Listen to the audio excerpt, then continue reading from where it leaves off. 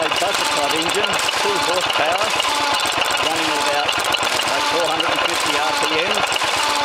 Um, as you can see, it's running a sludge pump. We'll come round to the side and have a look at that. It has one of the little trolleys, lovely cast wheels, and above it is some nice cast iron gears, all running the sludge pump.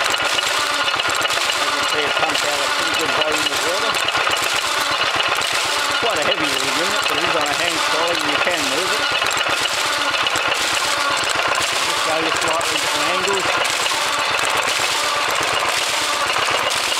Got all grease caps on all the moving parts and keep it well lubricated. The engine is a little bit smoky, but I'm hoping that will settle in with a bit of use. It's only the second time it's run in about many, many years. We'll go back to the beginning again around the other side.